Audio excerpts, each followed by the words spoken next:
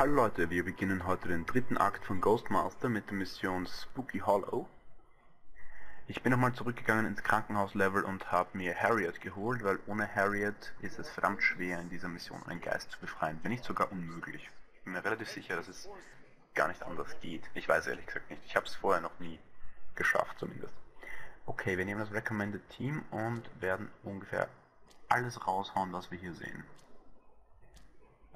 Außer Weather Witch und Harriet fliegen so gut wie alle Geister Ether. Weiß ich noch nicht. Vielleicht holen wir Ether wieder zurück. Okay, wir wollen Hardboiled. Hardboiled und Harriet brauchen wir für den ersten Geist. Insgesamt gibt es vier, die wir hier, äh, hier befreien werden. Wobei einer von einem hängt die Mission ab. Es geht, wie der Name äh, schon sagt, um äh, Sleepy Hollow. Wer den Film nicht gesehen hat, auf jeden Fall anschauen. Extrem geil. Und in Sleepy Hollow geht es um einen kopflosen äh, Reiter und den befreien wir in dieser Mission. Und neben dem gibt es noch drei andere Geister, die wir insgesamt befreien werden. Davon ist einer ein versteckter Geist, für den wir ein bisschen arbeiten werden müssen. Dum, dum, dum. Whisperwind, Ether. Ja, Whisperwind hat natürlich Tempest, was wesentlich stärker ist. Banzai brauchen wir noch. Ich glaube ansonsten... Ach nein, nein, nein, nein, nein. Blödsinn. Wir brauchen auf jeden Fall jemanden, der Possess hat. Ähm, ja. Nehmen wir Arkwide. Ich mag Arkwide einfach mehr. Wir brauchen jemanden, der Possess hat. Wollen vielleicht noch jemanden, der Possess hat. Buck. Weiß nicht, wieso mir der überhaupt vorgeschlagen wurde. Ist relativ nutzlos. Ich habe Hard Boiled. Ich habe Rain Dancer. Damit kann ich das Gewitter erzeugen. Terror Eyes hat er vorgeschlagen. Ja, wegen dem Fascinate, genau. Ja, Terror Eyes werden wir auch noch brauchen. Okay, das sollte sich soweit ausgehen. Go Haunt. Gut, bevor wir uns um die Mission selbst kümmern, ähm, stauben wir schnell mal einen Geist ab. Der ist hier, das ist Scarecrow. Und Scarecrow will mit Blut in Berührung kommen. Deswegen brauchen wir Harriet. Harriet kann nämlich draußen gebunden werden und Ethereal Gift zaubern. Damit bekommen wir hier draußen eine Fessel, die wir sonst nicht hätten. Daran binden wir Hardboiled. Ähm, ha, gute Frage, wie wir das jetzt machen. Ach ja, genau. Zuerst Rain und dann Gore. Durch Rain breitet sich der, dieser kleine Teich hier aus und mit Gore wird es in Blut verwandelt. Und damit haben wir Scarecrow befreit. Ich muss wieder sagen, die meisten Geister, die wir hier befreien werden, sind nicht wahnsinnig nützlich, aber irgendwie cool. Ähm, badam, badam, badam. Dann machen wir gleich den nächsten. Use Only Powers. So, dazu noch einen Tempest. Tempest sollte dafür sorgen, dass es hier in der Windmühle ähm, den Schädel runterhaut. Wie gesagt, wer, wer Spooky Hollow nicht kennt, ähm, schade, weil das Spiel, äh, die Mission schon relativ stark sich an dem orientiert. Man sieht auch immer wieder, glaube ich, Dragoon irgendwo rumrennen, der müsste eigentlich da unterwegs sein und reiten. Nein, nein, nein, nein, nein, das will niemand. Nur Tempest. Okay, wir haben Tempest, wir haben Rain. Ähm, wir haben im Moment das Problem, dass wir ein bisschen wenig Plasma haben. Weil jetzt bräuchte ich noch dazu Gasts und Gasts geht sich nicht aus vom Plasma her. Deswegen haben sie uns also Bug vorgeschlagen. Mhm, ich sehe. Gut, ja dann werde ich mal kurz ein bisschen scannen müssen. Ja, es ist wieder niemand hier. Wo bist du? Du bist eh da. Okay, sobald du rauskommst. Ja, ja, der Schädel fällt runter, bla bla. Ähm, was ich hier mache, ist, ich, da sieht man übrigens Dragoon im Hintergrund, kopflosen Reiter, um den es geht bei dieser Mission. Ähm, ich kreiere ein Unwetter. Wenn der Typ endlich mal aufhören würde hier zu kacken,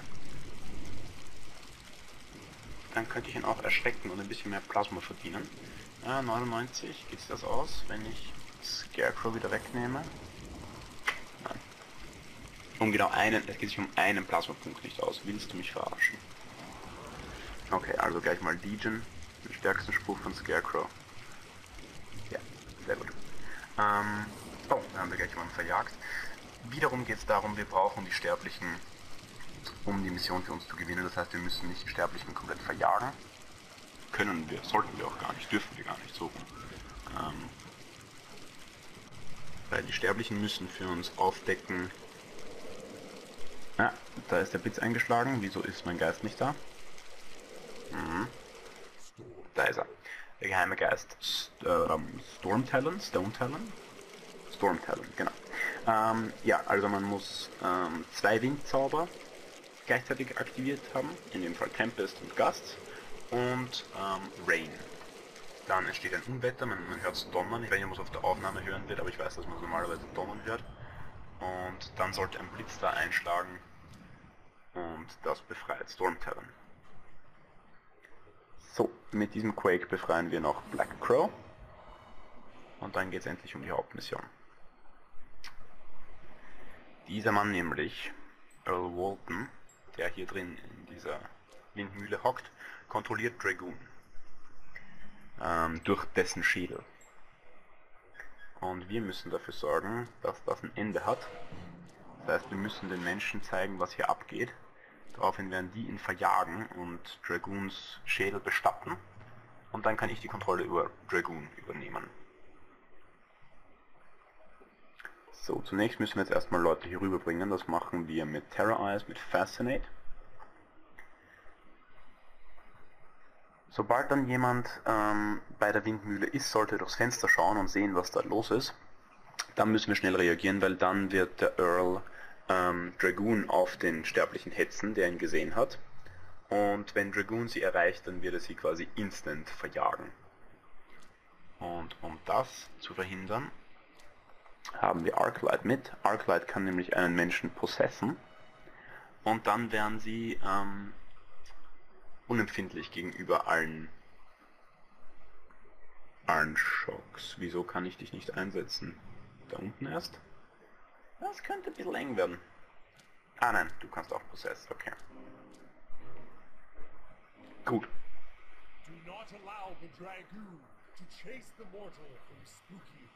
Ich hoffe nur, dass er sich für sie entscheidet.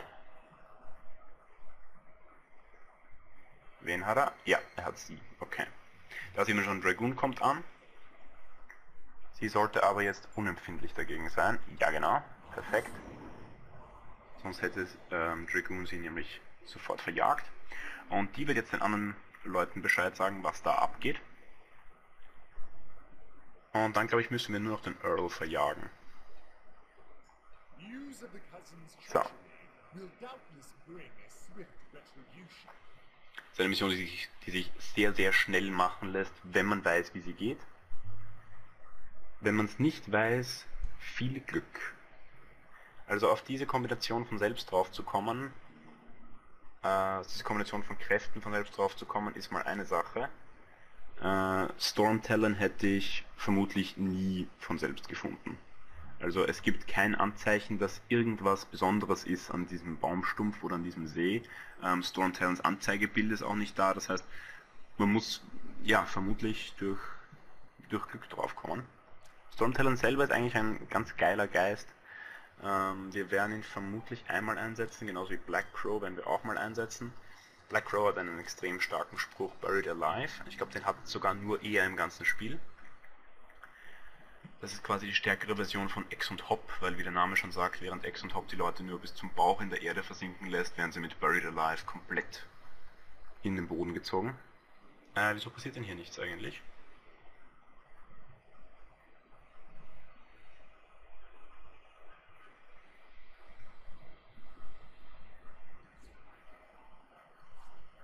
Ich dachte eigentlich, sie würde jetzt mal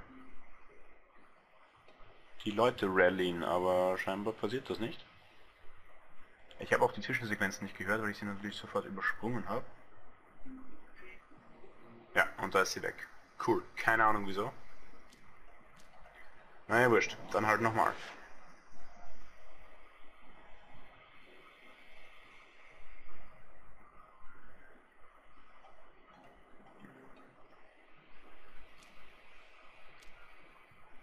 Eigentlich, wenn wir Harriet an das Kind binden, sollte das Kind auch in der Lage sein, dem zu widerstehen.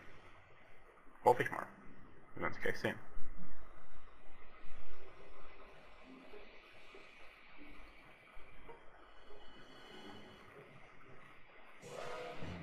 Ich frage mich nur, wieso es nicht geklappt hat.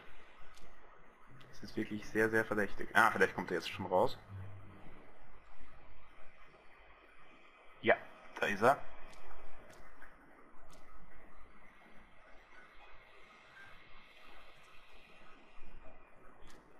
Ich bind dich mal vorsichtshalber an das Kind, aber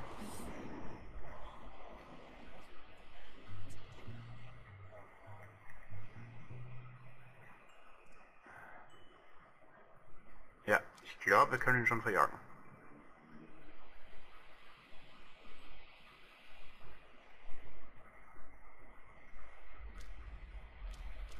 Okay.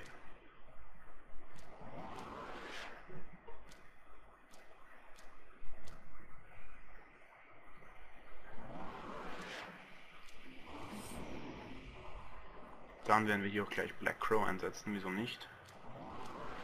Wenn wir ihn schon haben mit Choking Odor, das sich genau nicht ausgeht. Perfekt. Ach. Okay, wen haben wir noch? Ähm, badam, badam. Kannst du Surge einsetzen? Dann wäre ich sehr stolz auf dich, aber ich fürchte, das geht draußen nicht. Blackout, vom Blackout habe ich nichts. Ah, ich glaube der Junge holt den, holt den, ja, der Junge bestattet den Schädel. Sehr gut. Sehr, sehr gut. Okay. Das heißt, wir müssen uns wirklich nur noch um den Earl Walton kümmern.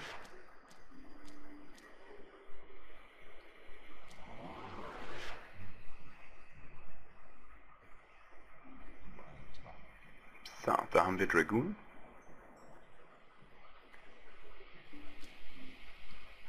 Und wir haben nicht mal genug, um ihn überhaupt zu binden. Tan, tan, tan, alles zurückziehen, aber jetzt geht es nur noch darum, diesen einen Mortal zu vertreiben. Ich glaube tatsächlich, dass Deadly Pursuit von Dragoon die ähm, teuerste Kraft im ganzen Spiel ist mit 450 Plasma.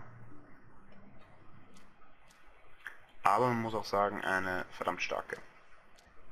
Dragoon ist speziell, um es mal freundlich auszudrücken. Dragoon braucht ein bisschen Micromanagement fast schon, um ihn richtig einzusetzen. Ähm, weil Dragoon nicht stillhält. Dragoon rennt immer herum und ähm, wenn man ihn nicht irgendwo einsetzt, wo er im Kreis laufen kann, auf ewig und drei Tage, dann verschwindet er irgendwann einfach, pufft. Das heißt, Dragoon ist wirklich am besten einzusetzen. Ich, ich setze ihm jemanden wirklich direkt vor den Schädel, dann soll er eine Kraft einsetzen und dann nehme ich ihn wieder raus und setze ihn nochmal. In dem Fall klappt es sogar mit Chase. Und natürlich generell ist er wahnsinnig stark. Also da besteht gar kein Zweifel. Nur eben auch teuer. Und dass der die Pursuit einen 400 kostet, nicht 450. 450 wäre wirklich grenzwertig hart. Ähm, ja, jetzt weiß ich, wieso ich Bug mitnehmen hätte sollen. Weil dann hätte ich zumindest irgendjemanden, der ein bisschen verjagen kann. Die meisten Geister, die ich hier habe, sind zwar super, wenn es um, um Elemente geht und so, aber... Und wieso zieht diese Trap nicht? Seriously. Ähm, ich bin aber auch dumm. Ich könnte schon die längste Zeit Harriet einsetzen. Äh, ein Ethereal Gift hier hinsetzen. Und dann zum Beispiel Arclight benutzen mit Human Torch.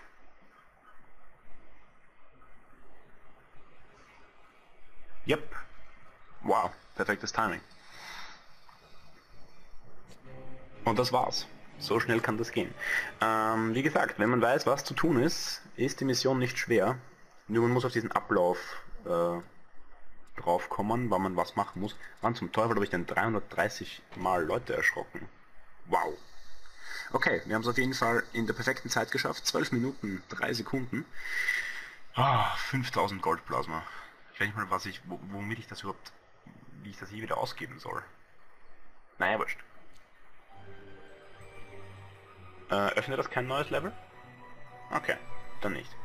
Na gut, dann war's das mit Spooky Hollow. Das nächste Mal schauen wir uns Ghostbreaker an und holen uns endlich Blue Murder und äh, den Wendigo, glaube ich.